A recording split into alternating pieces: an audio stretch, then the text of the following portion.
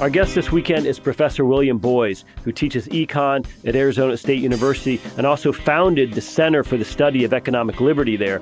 He is speaking at our Mises Circle event in Phoenix this weekend. And if you're in the Phoenix area or you're free to watch online, I really recommend that you check out his speech. Some Austrians may not be so familiar with Professor Boyes, but he gave a great speech at our AERC conference earlier this spring, and he's one of those rare academics who's actually gotten more radical and more Rothbardian in age. Professor Boyes really makes a devastating case against academia and provides some great insights into what it's like being a free market or Austrian thinker in most econ departments today.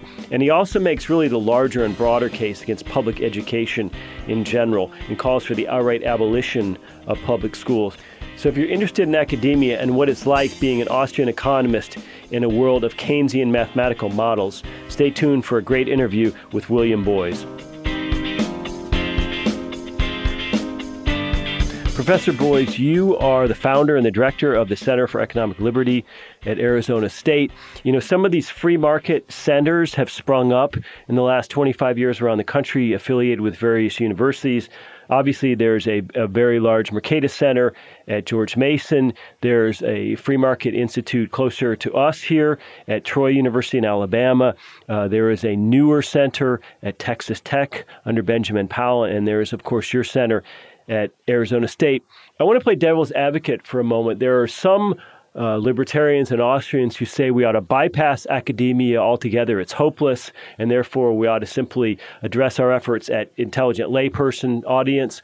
There are other people who say no, no, no. We need to reverse the tide of left wing and statist academia, and therefore we ought to be working within the system and promoting Austrian economics uh, through uh, these types of free market centers at universities. So that was a long-winded question, but let me just ask you, you know, what's your perspective on the best way to go about uh, changing things in academia? I think our battle is a two-pronged one. I think what the Mises Institute does with presenting their ideas often and broadly is really, really important. But I also think we've got to change education from K 12 to universities to be more open to an Austrian approach or a free market approach. We don't see that at those levels. I think the centers, if they can create departments and programs, can create free market economic thinkers. And the more we put out there, the more impact it'll have in the long run. And I also think that if we can do the same thing in K through 12, get rid of get rid of the public education, create private education as a replacement and have a market for education, then I think we really have an impact. And I think all of us thinkers along those lines, I think we'll take any victory we can get. Tell me how the landscape's changed. Just for general free market thinking in academia, do you feel like the environment is more favorable today than it was, let's say, when you were coming up in the 70s and 80s? When I was coming up in the 70s and 80s, the only thing that you were taught was still Keynesian. Very few had any uh, free market stuff, except maybe a few people out of Chicago or, or Virginia Tech or someplace like that. But today, I think there's more of a resistance by the mainstream profession to accept those free market ideas, and there's more of a of a dimension where I can become a Nobel Prize winner by coming up with another market failure approach to it. Uh, the the research game has moved us in the direction not of policy and thinking, but in the direction of trying to think of the economy as a great big machine that we can engineer. So I, am kind of mixed whether I, I've seen a swing or not. I'm optimistic that we're going to move back in economics. Uh, I, I see the beginnings of some people thinking about non-mathematicizing uh, econ like Stanford University has moved in the direction of a of a more policy oriented program, and I think we'll see more of that, and we'll see the old quantitative stereotype in econ maybe uh, lessen. But it's going to take a while.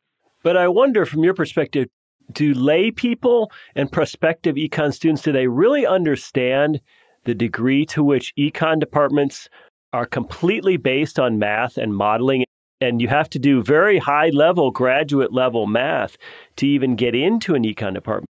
I wonder if people understand the degree to which modeling and technical elements of econ have become basically the entire path to obtaining a PhD. You know, Jeff, you're exactly right. And I don't think they have realized that. They take some undergraduate economics, and usually one professor gets them excited, and that one professor might be Austrian, might be free market, might just be a good guy. But that one professor gets them excited, then they go to grad school, and it's nothing but high level mathematics and econometrics, and they're discouraged before they even get out. That's why you look at a lot of the programs today, and they're actually, a lot of them are comprised of foreign students because they can speak the mathematics a lot easier than they could speak the English. So a lot of the U.S. PhD programs are uh, becoming more and more foreign dominated and less and less uh, U.S. dominated. As a result of some of this mathematical emphasis, I think your own center and others have found a niche more in business schools than in econ departments. Can you talk about how free market thinking and Austrian thinking seems to fit better in B schools these days than in the more moribund statist thinking econ departments? Oh, that's a really good point. It does. Um, business schools are applied generally overall. They, they, they're looking for solutions to business problems, uh, not universally, but overall. And so the business schools are pretty open to uh, applied economics or political econ or Austrian economics, the entrepreneurship uh, research. Most management departments have people doing research like that. So the Austrian approach to entrepreneurship is looked at favorably. In the liberal arts programs, where most of the econ departments are, they're really kind of out of touch with reality. they don't care that much about policy. They don't look at policy. They're the pure ivory towered academics that are off doing their research, quantitative work, which, you know, two or three people will read their article in some journal, and that's that's all they care about. I, I think the business schools are uh, much, much more open to the kind of economics that we all like. And you're right, most centers are set up in business schools, and most of the business school programs are more uh, applied and policy oriented you'll find that the one in the business school tends to be more oriented towards uh, the current logical thinking rather than the current mathematical thinking. Well, if a young person came to you and said, gee whiz, you know, I've discovered Mises, I've discovered Hayek, I've discovered Rothbard, this excites me, and I'd really like to make a career out of this, but they had a very traditional path in mind, which would entail getting a PhD in economics and then becoming a tenured university professor somewhere. Uh, what would you say to them about the, the pitfalls and, and whether they ought to do it at all? Well, it would really depend on the particular student. If I had a student come to me who is uh, extremely good in mathematics and physics and had run across the Austrians and, and really loved them, I, I would say go ahead to the best graduate school in terms of reputation you can be and just keep reading these other authors. And in fact, I'll put you in touch with some of the Austrians that you can you can use as mentors. But in general, they're, they're the students who uh, don't have that advanced mathematical physics quantitative approach. I don't encourage them to go on to a PhD program. I tell them there are two or three PhD programs that you, you could think about. You could look at another field like, say, management and go into entrepreneurship, but don't go into a straight econ program because you, you probably won't make it for one thing. And if you do, it's going to be uh, doing nothing but mathematics for the next 15 years of your life. Uh, so I think I think I, I tend to be discouraging to most of the students who come to me like that. Well, when you were getting your PhD, was it far less math oriented? Yes, it was far less, uh, very quantitative, except maybe for one one professor. I didn't feel like I learned economics throughout my my PhD program. I learned econometrics and mathematics and differential equations and set point theory and proofs and theorems. And then I got out. My first job was actually in investment banking. And the first meeting we had, they started asking me questions about what's going on in the economy, and I had no idea. I, I had to then start over again and try to educate myself about economics. And that's how I eventually ran across the Austrian school and realized that uh, that's where my thinking was uh, simpatical with. But when I was in graduate school, it was it was nothing like that. I I did linear programming for my first micro course. I did dynamic programming for my first, second macro course. I didn't know any micro or macro, unfortunately. At that time, that was a pretty standard approach. I mean, I, I looked at programs around the country thinking that I might uh, like to transfer, and um, most of them were the same way. So I said, if I'm going to go through, I'm just going to finish this up and then go do what I want to do. Talk, if you will, about life in academia. In other words, the politics behind it. I wonder if young people aren't sometimes naive about what life is like in professional academic settings when so many of your colleagues and certainly the administrators are skewed heavily to the left. Do you feel that you personally felt a chill or suffered throughout your career as a result of your orientation? Yes, I do it's a great life. The academic lifestyle is is very nice. You sit up and do your own thing and interact with you know, students, and you don't have to be in the office all the time. That's a great lifestyle.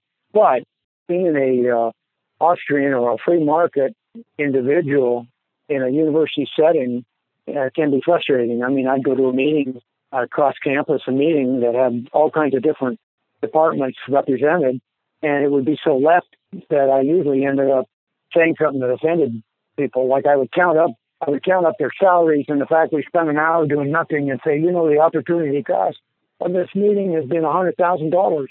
Uh, they didn't like to hear that, and I tried to uh, implement some free market approaches on on the campus and in budgeting, and the university really uh, they got the backup over that. So today, academic institutions tend to be big, big bureaucracies, faculty left oriented, strongly left oriented. I think a recent survey said 97% of faculty donate to Democrats.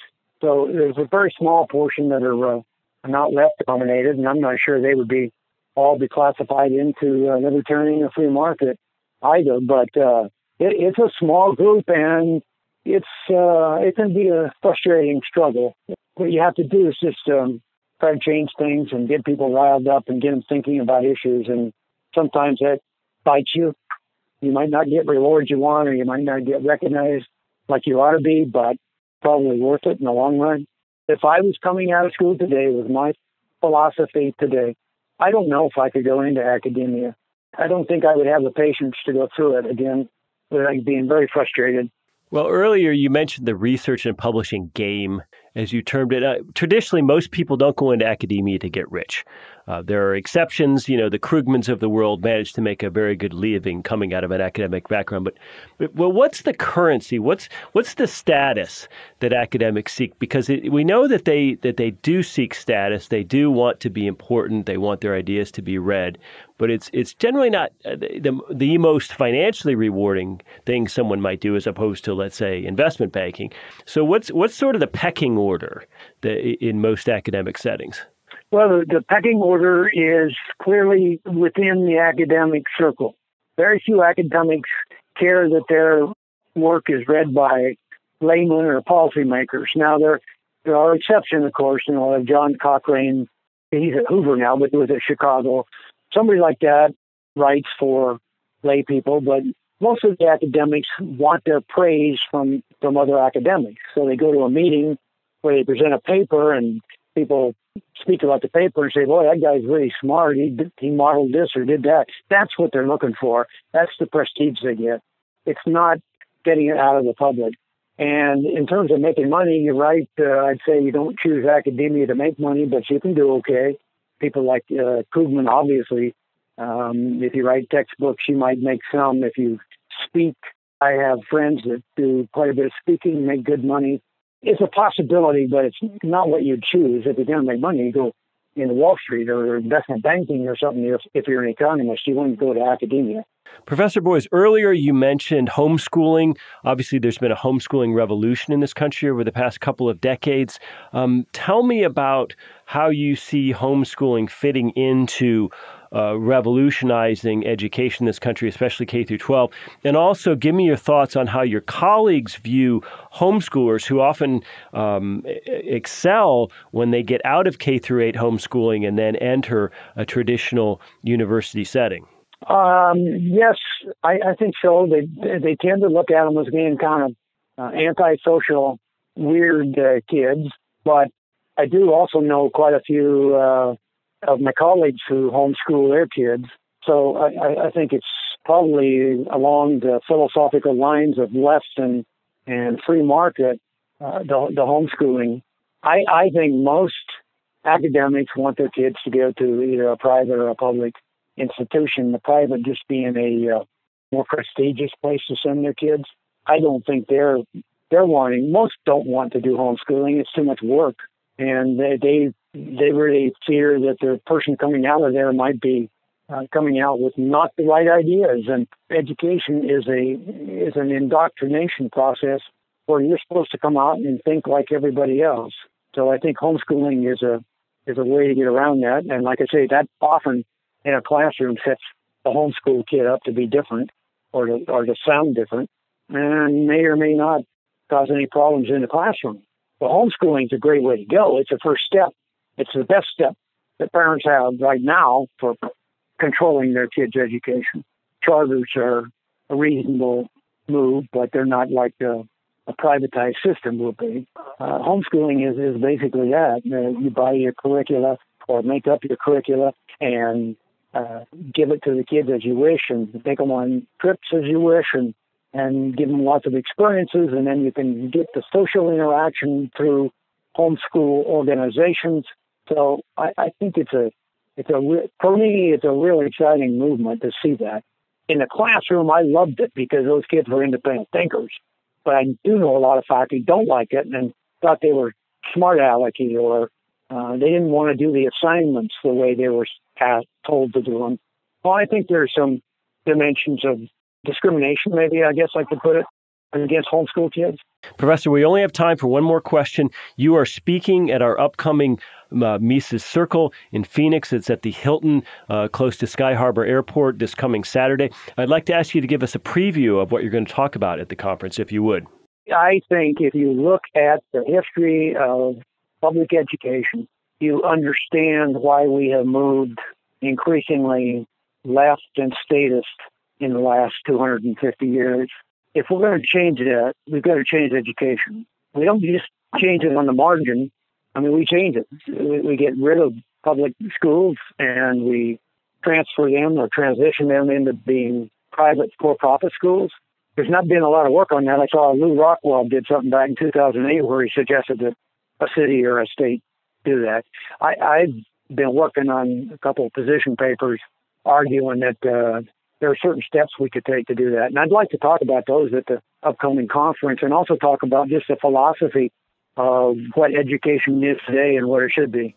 So I'm, I'm looking forward to it. It ought to be a lot of fun. We're trying to say, okay, what, what do we need to do to move back, to move towards the freedom agenda and away from the statist agenda? And uh, it's just exciting to think about. Jeff, it ought to be a lot of fun. I'm looking forward to it.